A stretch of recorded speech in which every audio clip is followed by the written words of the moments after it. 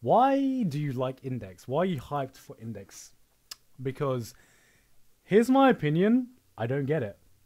It's so it's it's not bad, it's just really mediocre. And that's my opinion on Index. This was me, literally a month ago, reacting to the new Index Season 3 trailer as I was streaming my impressions of the full season chart. See, the whole Index, Railgun, Toaru, whatever you want to call it franchise has always been somewhat of a mystery for me. From my perspective, it always looked like your typical generic high school fantasy action light novel that has been done a million different times nowadays, and any attempts to watch the anime did nothing to prove me otherwise. Yet it's a franchise that had one of those fan bases that would praise it to high heavens. You know, one of those rabid fan bases that seems nigh on obsessed with a franchise and would take any opportunity they had to spread the word of the Holy Gospel like they were recruiting for a new religious cult or something. So after seven years of silence before a new season getting announced seemingly out of nowhere, I said, you know what? Fuck it. I'm going to try to get to the bottom of why this franchise is so beloved by so many, despite by my accounts, it looking like a dated mid-2000s generic light novel franchise that time should have left behind. And through that journey, I discovered a unique world that blends fantasy and science in a way I'd never seen before. A grand narrative that fits the bill for a shared universe I had been searching for an anime for so long, a power system so intriguing it tested my knowledge of my university education that, before I knew it, something happened. I became a fan.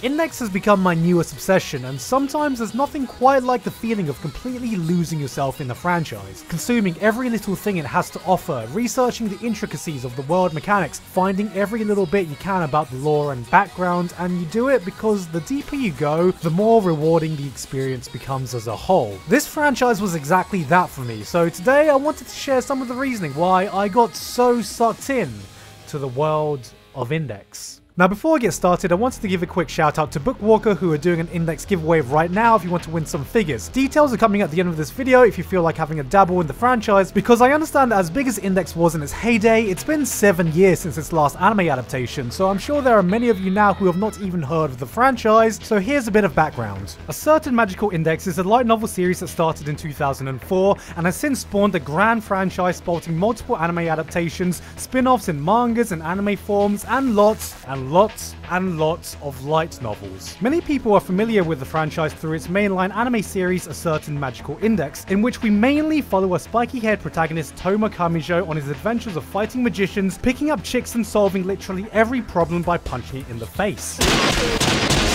But arguably equally as popular is its spin-off series A Certain Scientific Railgun, which focuses on the adventures of Mikoto Misaka, a powerful Esper with the ability to control electricity, shrug off teleporting lesbians, and is basically Pikachu as a tsundere anime girl. From that brief description, it may be hard to see the appeal of Index because that's what it looks like from the outside, and to say the franchise is a bit daunting is kind of an understatement at this point. But from my personal experience, through all the confusion about the sheer scope, explanations about chronology, read and watch order, I never really saw anything to explain to me what the core appeal Index was and why it's amassed such a loyal fan base, so that's what I'm going to try and do today. And I think a good place to start, instead of explaining specific plot details, is to start explaining what Index is as a concept.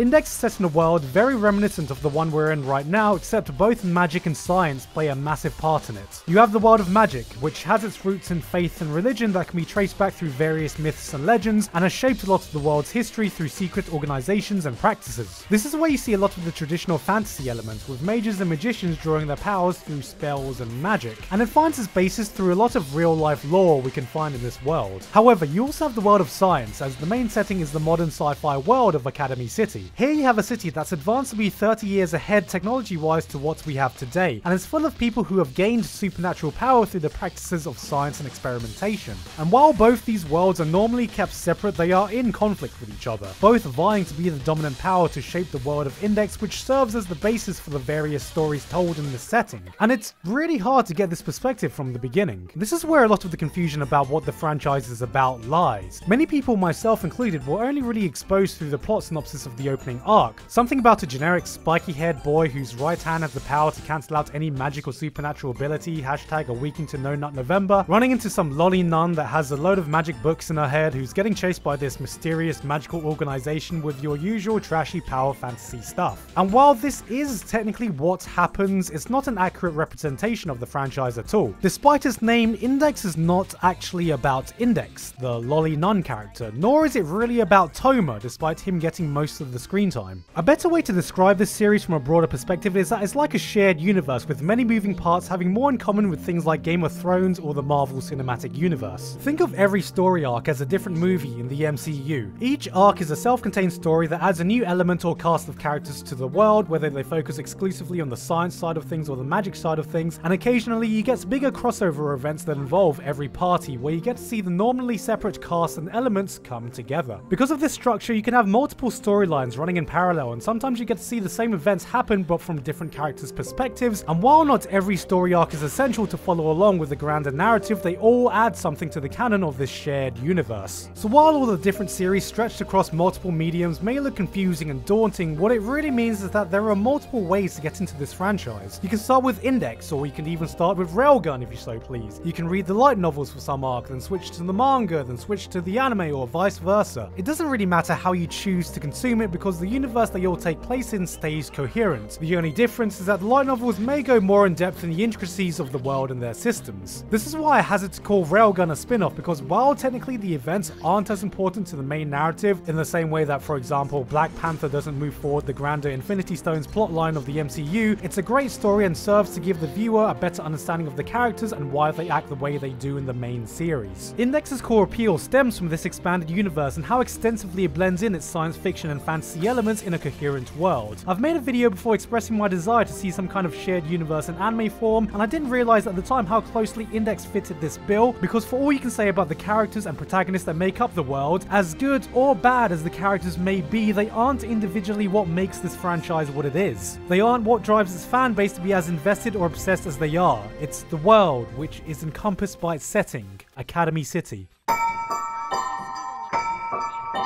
Academy City is a weird beast to tackle because while it's technically just a backdrop for all these story arcs taking place, I'd actually argue that it is the main character of the franchise because while Toma may be the face and main protagonist of Index early on, as the world expands and more characters get introduced, Index becomes the story of Academy City itself. It's the inhabitants of Academy City whose storylines we get to follow. It's Academy City that is the driving force for the grander conflict. It's Academy City which serves as the core thread that connects all the numerous plot lines together. Even if events aren't happening there, it always exudes a constant presence and honestly seems like a really cool and unique place, which unfortunately the anime doesn't always do justice with its simple portrayal of fucking bad CG wind turbines everywhere. Because of the amounts of strange, different happenings revolving around this city, the series can take many forms and genres depending on the arc and character we're following. Sometimes it's a dark sci-fi involving horrific human experimentation, sometimes it's a fantasy action exploring secret underground organizations, sometimes it's a fluffy high school slice of life, and sometimes it's all of those things. Admittedly, I found the story arcs that focused on science far more interesting than the ones that focused on magic, but what made it all worth sticking through was when you were able to see all the various characters and plot lines converge. Some of my favorite moments were actually just seeing different characters from the various story arcs meeting for the first time and interacting with each other. There was a few episodes in Index Season 2 that was purely dedicated to bullshit slice of life fluff involving all the cast members, and it was honestly some of my favorite episodes. The franchise rewards you for investing in the world as a whole. You'll have elements you like, you'll have elements you won't like, like. You'll have characters that bore you and characters that you absolutely love, which, let's be honest, is going to be Accelerator because he's best boy. It's the juxtaposition of all these different narrative elements you wouldn't normally see together put in one place that makes it so interesting.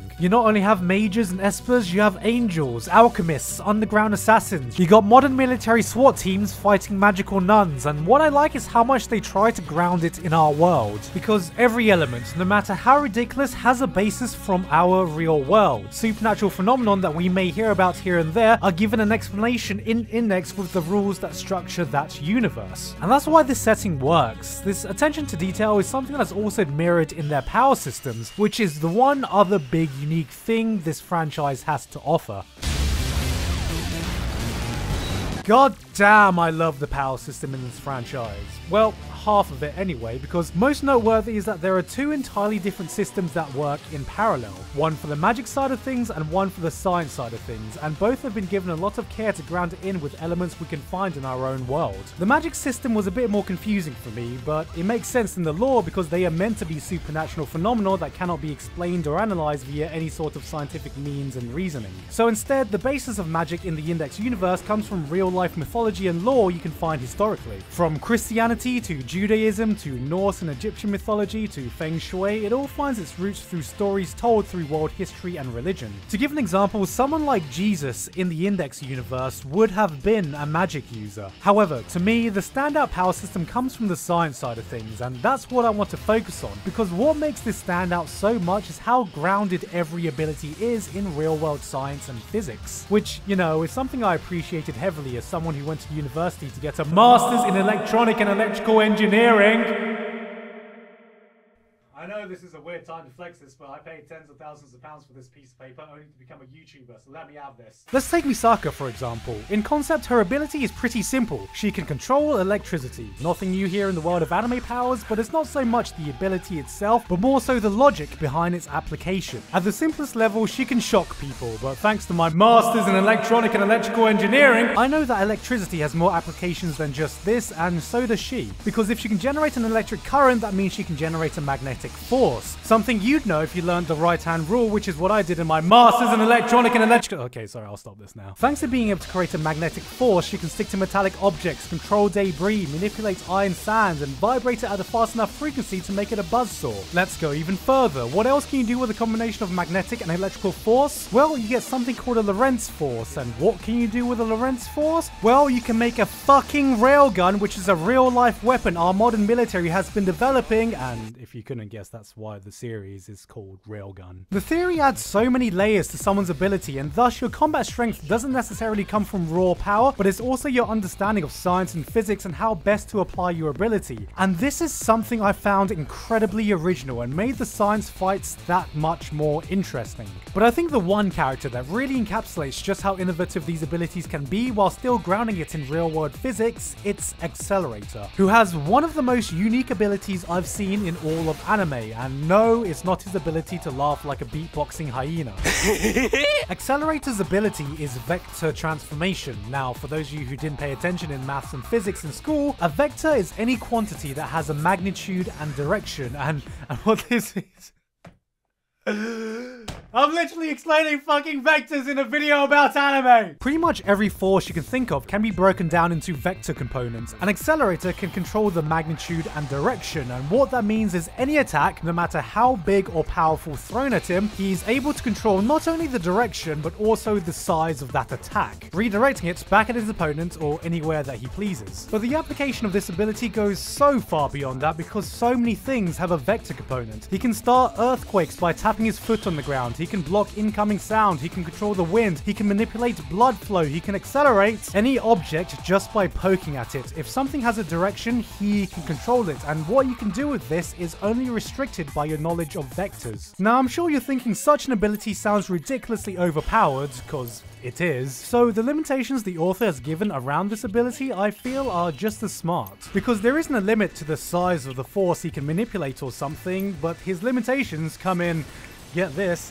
mathematical calculations. That's right, his kryptonite is fucking algebra! Vectors can be complex mathematical concepts to calculate, and if you're going to apply these manipulations in a combat situation, you need to be able to calculate how to do it in real time. This is exactly Accelerator's limitations. He has an onboard computer to assist him with the calculations, so if there's too much data to process or the computer's battery runs out, that is his limit on what he can manipulate, and in my honest opinion, that's fucking genius, because it logically makes sense if such a ridiculous ability actually existed in this world. Which means if Accelerator's ever in a bind, there's only one thing he can do. In the face of overwhelming odds, I'm left with only one option. I'm gonna have to science the shit out of this. Of course, understanding the theory behind these powers doesn't actually matter in the wider context, but for pretty much anyone who comes from a scientific background, it feels incredibly rewarding and it adds that extra layer to every fight scene, which is something I found totally unique. Alright, how many people have I lost with that last section? Is anyone still here? Engineers? Mathematicians? Physicists? Anyone else? Anyone? If you've made it this far and all this sounds exactly like your cup of tea, well, this is the time when I start putting terms and conditions to everything I've said. A lot of them. There is one thing I've glossed over to focus on the positives and appeal of this franchise, and that is just how goddamn hard it tries to put new people off from getting into it. Remember when I said I was put off by how generic and boring the beginning arc seemed to be? Well, that still holds true and can still definitely be applied to a lot of the early arcs in Index. The franchise came at a time when trashy harem bait high school fantasy light novel adaptations hadn't already oversaturated the industry, and going back through it now, it has really really not aged well. Early Index embodies almost all of the overused tropes, character archetypes, and cliches we have gotten bored of since its initial release, and it ends up coming across as a run-of-the-mill shonen action show. Considering how much of it revolves around Toma, he's just not a very interesting character and only gets development further down in the light novel. Not only that, but his ability to cancel out other abilities is just so fucking boring compared to everything else I've talked about in the franchise's power systems. It's not bad per se, it's just extremely generic, and this is what makes it a really hard sell. I would like to say that you could easily power through it and quickly get to the good stuff, and while there are definitely some highs I'm going to touch upon, there is a lot of bullshit to wade through. Entire seasons worth of episodes, mind you, which in today's standard of short, hard-hitting 12 episode anime series is probably gonna put off about 90% of you. But this is exactly why there's no such thing as a casual fan of the franchise. Only those who've been willing to trudge through all the mediocrity are rewarded with everything the world can offer, and if you're willing to do that, that probably means these elements I've talked about are something that appeal very strongly to you, as was the case for me. The good thing to know is that while Index Season 1 was mostly world building and Season 2 was a lot of build up to a climax that was only just teased at by the end, those who have stuck with it are finally getting to see a lot of the payoff that is being adapted in Season 3 that's airing right now. And if you continue reading the light novel, it only gets better and there's so much of it to lose yourself in. Plus, with a new season of Railgun and Accelerator just being announced, there is no better time to get into this franchise. So, after all this, there is one question left. How do you get into Index? do you want the long version or the short version? Index Season 1, then Railgun, then Railgun S, then Index Season 2.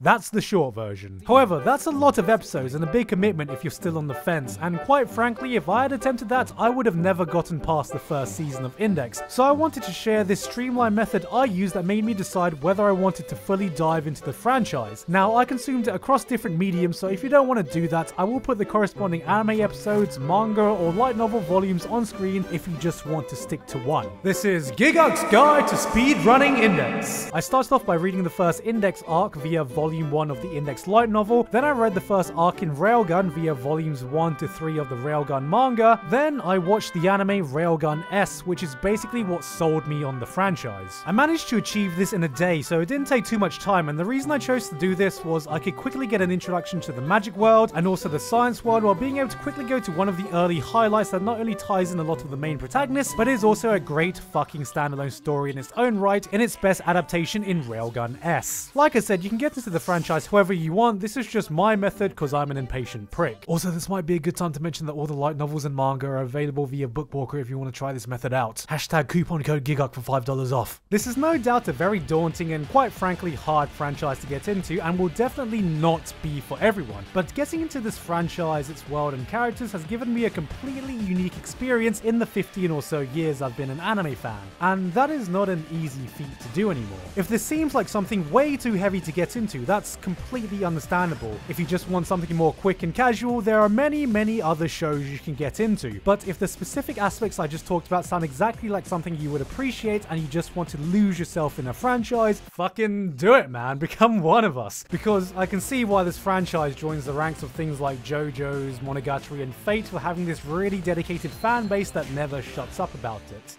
Because there really is nothing else like it.